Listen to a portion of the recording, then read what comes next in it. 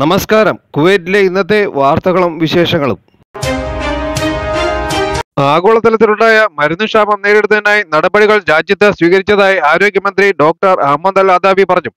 രാജ്യത്ത് വിവിധ ഔഷധങ്ങളുടെയും മെഡിക്കൽ ഉൽപ്പന്നങ്ങളുടെയും ശേഖരം സുരക്ഷിതമാണെന്നും ജീവൻ രക്ഷാ രക്ഷാമരുന്നുകളുടെ ലഭ്യത ഉറപ്പാക്കുമെന്നും മന്ത്രി വ്യക്തമാക്കി. അർബുദ ചികിത്സയ്ക്ക് ഉപയോഗിക്കുന്ന മരുന്നുകൾക്ക് ക്ഷാമമില്ലെന്നും രാജ്യത്തെ ആശുപത്രികളിലും ക്ലിനിക്കുകളിലും ആവശ്യത്തിനുള്ള മരുന്നുകൾ ലഭ്യമാണെന്നും ആരോഗ്യ മന്ത്രാലയം അറിയിച്ചു. അമിത വേഗത കുറയ്ക്കുന്നതിനും ഗതാഗതം സുഗമമാക്കുന്നതിനുമായി സ്ഥാപിച്ച ക്യാമറയിൽ ആദ്യ ദിവസം തന്നെ കണ്ടെത്തിയത് റെക്കോർഡ് നിയമലംഘനങ്ങൾ. വഫ്ര റോഡിൽ റോഡ് മുന്നൂറ്റിയാറിൽ ക്യാമറ സംവിധാനം പ്രവർത്തിച്ചതിന്റെ നാലാം ദിവസം ആറായിരത്തി അറുപത്തിരണ്ട് വേഗത ലംഘനങ്ങൾ കണ്ടെത്തിയതായി ആഭ്യന്തര മന്ത്രാലയം അറിയിച്ചു. വഫ്രയ്ക്കും മീൻ അബ്ദുള്ളയ്ക്കും ഇടയിലുള്ള റോഡിലെ ദൂരം വേഗതയും ക്യാമറ വഴി അളക്കാനാകും. കുവൈറ്റിൽ വിവിധ കൊലക്കേസുകളിൽ രണ്ട് പ്രവാസികൾക്ക് വധശിക്ഷ വിധിച്ച കോടതി. ഒരു സുദാൻ സ്വദേശിക്കും ഈജിപ്റ്റ് സ്വദേശിക്കുമാണ് വധശിക്ഷ വിധിച്ചത്. കുവൈറ്റിൽ വെച്ച് മുൻ ഭാര്യയെ കൊലപ്പെടുത്തിയ കേസിലാണ് സുദാൻ സ്വദേശിക്ക് ക്രിമിനൽ കോടതി വധശിക്ഷ വിധിച്ചത്. മൈതാൻ ഹവലിയിൽ വെച്ചാണ് കൊലപാതകം നടന്നത്. വാക്ക് തർക്കത്തിനൊടുവിലായിരുന്നു കൊലപാതകം നടന്നത്. ഫിലിപ്പൈൻ സ്വദേശിയായ ഭാര്യയെ കൊലപ്പെടുത്തിയ കേസിൽ ഈജിപ്റ്റ് സ്വദേശിക്ക് വധശിക്ഷ വിധിച്ചത്. ഭാര്യയെ കൊലപ്പെടുത്തിയ ശേഷം ഇയാൾ സ്വദേശത്തേക്ക് കടക്കുകയായിരുന്നു. ബഹുബലയിൽ വെച്ചാണ് ഈ കൊലപാതകം നടന്നത്. കുവൈറ്റിന്റെ തെക്ക് പടിഞ്ഞാറ് രാവിലെ റിക്ടർ സ്കെയിലിൽ മൂന്ന് തീവ്രത രേഖപ്പെടുത്തിയ ഭൂചലനം അനുഭവപ്പെട്ടതായി കുവൈറ്റ് നാഷണൽ സീസ്മിക് നെറ്റ്വർക്ക് അറിയിച്ചു. കുവൈറ്റ് സമയം രാവിലെ പത്ത് അമ്പത്തൊന്നിനാണ്. ഭൂമിക്കടിയിലെ എട്ട് കിലോമീറ്റർ താഴ്ചയിലാണ് ഭൂചലനം ഉണ്ടായെന്ന് റിസർച്ച് ഇൻസ്റ്റിറ്റ്യൂട്ട് പുറത്തിറക്കിയ വാർത്താക്കുറിപ്പിൽ അറിയിച്ചു.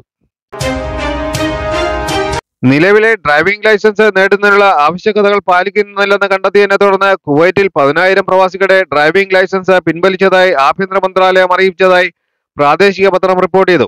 പ്രവാസികളുടെ ലൈസൻസ് പരിശോധന ഇപ്പോഴും തുടരുകയാണെന്നും ഡ്രൈവിംഗ് ലൈസൻസ് റദ്ദാക്കിയ പ്രവാസികളെ ഫോൺ സന്ദേശത്തിലൂടെ അറിയിക്കുകയും അവരുടെ ഡ്രൈവിംഗ് ലൈസൻസ് കൈമാറുന്നതിനായി അറിയിക്കുകയും ചെയ്തിട്ടുണ്ട്.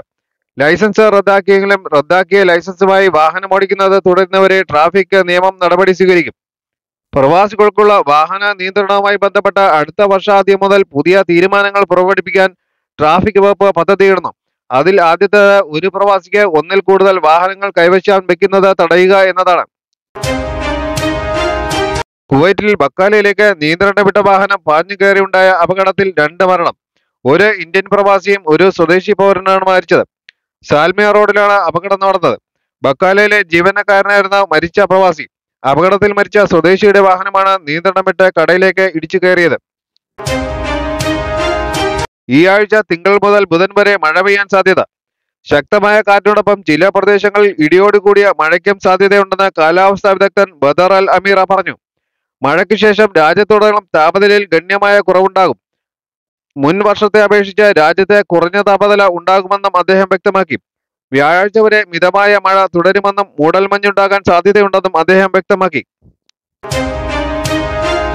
കുർത്തുബ പള്ളിക്കകത്ത് ഇന്ത്യക്കാരൻ ആത്മഹത്യയ്ക്ക് ശ്രമിച്ചു.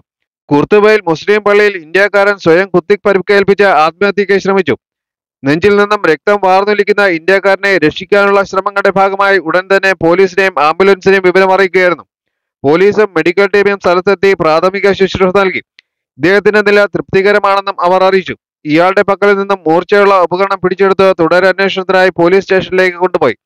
പ്രവാസിയെ നാട് കടത്താനാണ് സാധ്യത. ഇന്നത്തെ സ്വർണ നിരക്ക് ഒരു ഗ്രാം ഇരുപത്തിനാല് കാരറ്റ് പതിനേഴ് കേടി തൊള്ളായിരത്തി അമ്പത് പിൽസും. ഒരു ഗ്രാം ഇരുപത്തിരണ്ട് കാരറ്റ് പതിനേഴ് കേടി മുന്നൂറ്റി അമ്പത് പിൽസും. ഇന്നത്തെ വിനിമയ നിരക്ക് ഒരു ദിനാറിന് ഇരുന്നൂറ്റി അറുപത്തിയാറ് രൂപ എഴുപത്തി എട്ട് പൈസ. ഇന്നത്തെ വാർത്തകൾ സമാപിച്ചു. നന്ദി നമസ്കാരം.